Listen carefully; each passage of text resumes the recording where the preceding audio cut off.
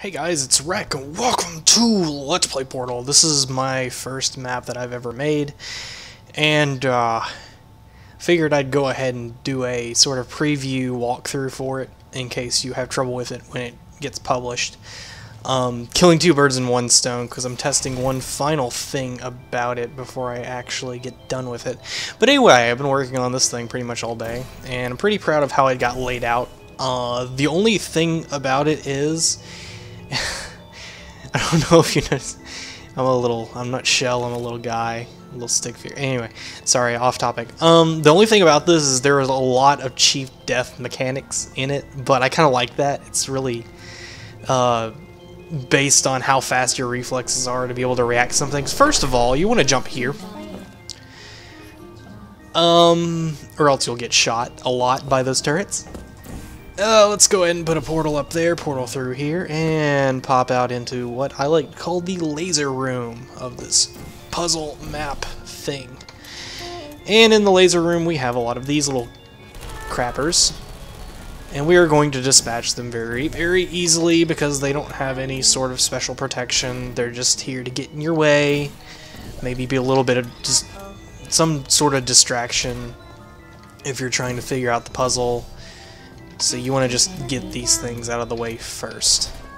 And then after taking care of all of those, we can go ahead and use this laser to deal with the stuff over there, because down in these little side bins, we have crates. Good crates. Redirect, uh, I don't even, oh, reflection crates, that's what they're called. Derpa derpa derpa doo. But we can use these to destroy all these troublesome nuisance turrets over here that nearly killed us when we fell down. Sweet revenge. Please die. I'm right out of their range.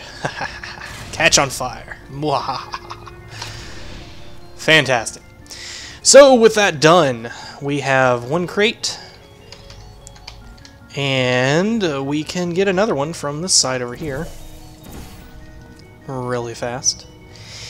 But one crate, two crate is not enough to solve this puzzle. Try as you might, try all day, you cannot do this puzzle with only two crates. So, what do we do? Well, there are three holes in the ceiling. Two of these drop crates, the other one is actually a path into another complete part of the level. Exciting. But up here, in your jubilation, you might not notice that one little laser beam of a turret Case in point, by the way, I do like to put turrets in my levels. I don't think enough people use turrets. They're fun to kill and knock over. I love turrets. Just uh, a word of warning. Anyway, let's continue. So, we need both of our cubes up here in this room, because once we take this cube and stick it on this cube button, raises the floor up, extends the ceiling, and also I think opens this door right here. Now you can use these two portals to shimmy around. Let me see if I can do it really quick. Uh, uh, eh. I'm not being very successful with this for some reason tonight. Come on, there we go. And get into a secret way into this room, but that doesn't really amount to anything, and I'll explain that a little bit later. Um, I've taken a lot of time out to make sure this puzzle is not uh, gimmick proof, or to make sure that there's not alternative ways to do things that I would not like. Ways to gimp the puzzle, that's the word I'm looking for. But anyway, we're going to get up here and we're going to put this button right on top of that, or Q on top of that, excuse me, which brings down some nice orange gel for us. What we can do with the orange gel is we're going to fire a portal down through here. And we're going to take that orange gel into the next room. Actually, I forgot something. We need to bring this with us, actually, because there's a surprise waiting for us in the observation deck. Another turret! Die. Oh, yeah. With that done, we can put this back, because we don't need it anymore, or at least for the time being. So now we enter this room, and this is what I like to call the maze room. the maze room is a little tricky. Basically, what you have to do is spend a little bit of time setting up your orange gel all over this room from start to finish.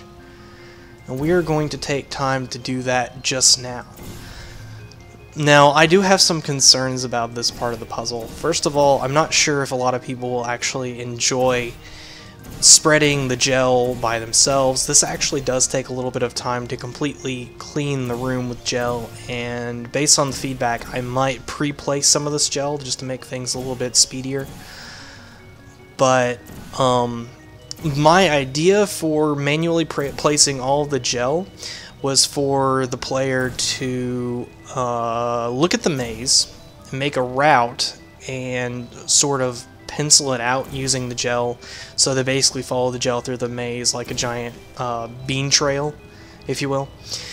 But that didn't really pan out the way I wanted it to because the perspective on the maze I wanted, I couldn't really get because I had to put the portals on the ceiling um, in order to get within the walls, as well as a few other things. Like, uh, putting portals on the ground allows you to exploit things too much. So, I had to go safe over, uh, what do you call it? Safe over being time sensitive, I guess is the best way to explain it. But anyway, we're to keep spreading this gel. We're halfway done now, at least. You don't need to spread it over every square inch of this maze, like I said. You just need to spread it over the path you're intending on taking through maze. Okay, looks like we're about done. I had a friend beta testing this map for me that when he found out there was gel, he spread it everywhere, and that ended up. I need to do a quick word on that as well. Uh, why there's cleaning gel downstairs, because basically what he did was he sprayed this gel everywhere, and it made it impossible to do the laser challenge just because of like how thick the gel was and it just made everything slippery and terrible but it was kind of funny. Alright, I think I need to just put it back in that one little spot. And I am Bob Rossing this like a boss. There we go. Alright.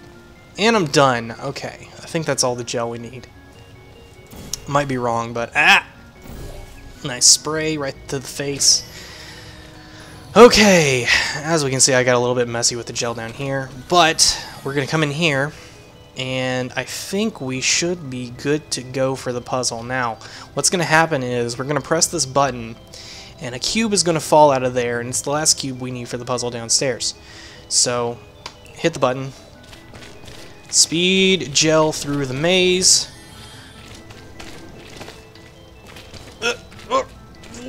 and then you need to slow down right about here. Ah, crud.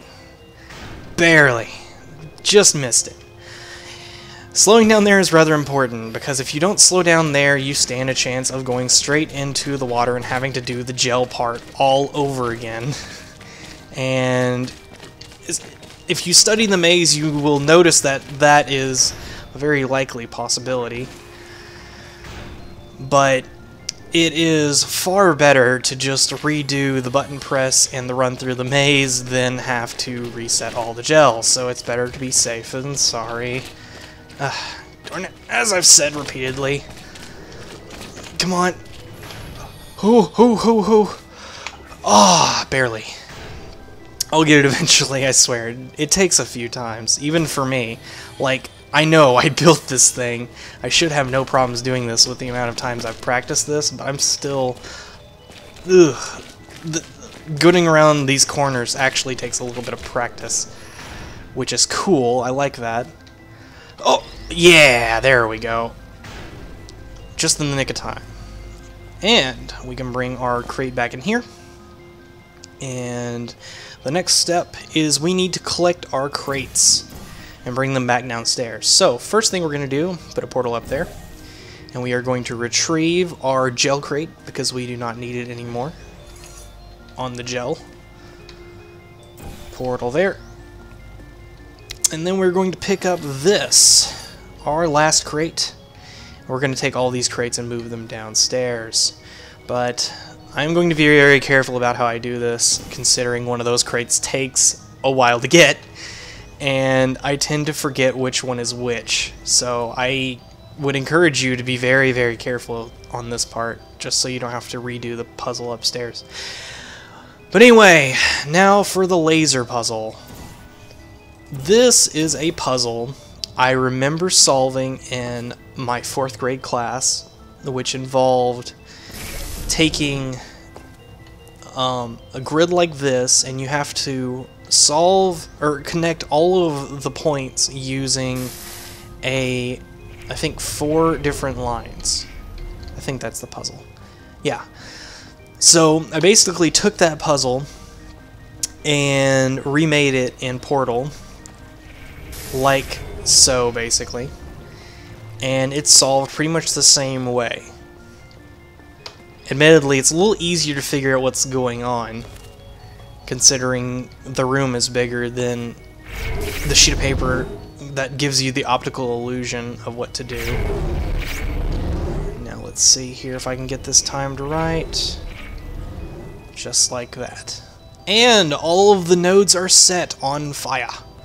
So what we can do now is quickly jump over these lasers and head back over here.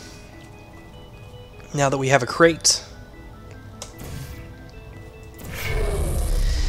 And with the big sound that turns all of the lasers off, we have our portal back up to the top.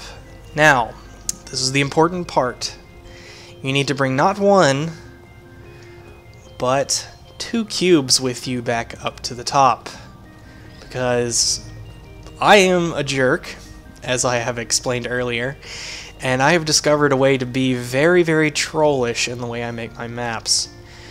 Put one portal right, or one cube right there, and you're going to want to put another cube right here, and that turns on a little turret who's just waiting for you to get done with the puzzle so he can kill you. You jerk. Now, that solved the puzzle. 120%.